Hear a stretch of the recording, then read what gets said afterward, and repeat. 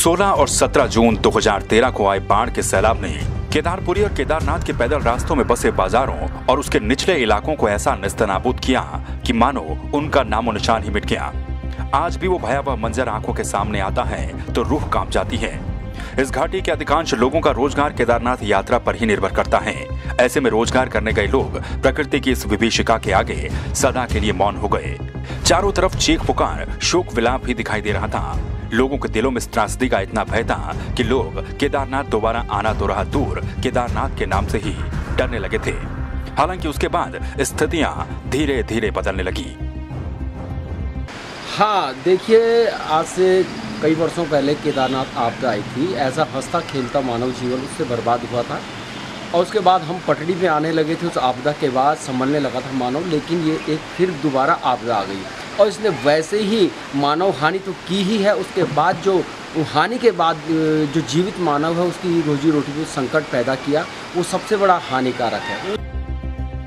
आपदा के बाद उत्तराखंड और केंद्र सरकार ने यहाँ पर युद्ध स्तर पर पुनर्निर्माण कार्य किए। हाड़, कपाती, ठंड और दर्जनों फीट बर्फ़ होने के बाद भी शीतकाल के दौरान भी पुनर्निर्माण में काम बंद नहीं किया गया।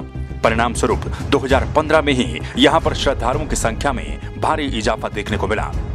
आपदा पर भक्तों की आस्था भारी पड़ने लगी और वर्ष दर वर्ष यात्रियों की संख्या भी बढ़ने लगी तो व्यवस्थाएँ भी दुरुस्त होती चली गई।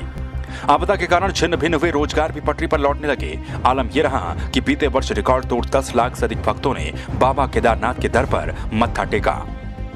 लेकिन इस वर्ष यात्रा आरंभ होने से ठीक एक महीने पहले ही कोरोना वायरस ने देश में दस्तक दी, जिस कारण इस वर्ष यात्रा को स्थगित करना पड़ा।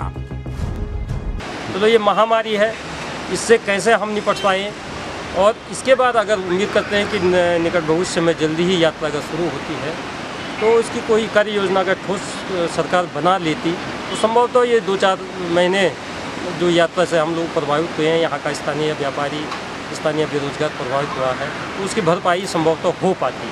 जब ये उत्तराखंड में पहली बार, जब 2013 में 16-17 जून को ये आपदा आई थी तो एक प्रकार से रुद्रप्रयाग जनपद तो पूरा ख़त्म ही माना जाएगा जा रहा था, क्योंकि व्यापार पर सबसे बड़ा प्रभाव केदार घाटी पे ही पड़ा था। और जैसे कि ये पटरी पे आ रहा था ये मौसम, तब तक ये दूसरा वायरल आ गया, ये कोरोना, कोविड 19 इसने तो और ज़्यादा व्यापारियों की समस्या को जो है ख़त्म कर दिया।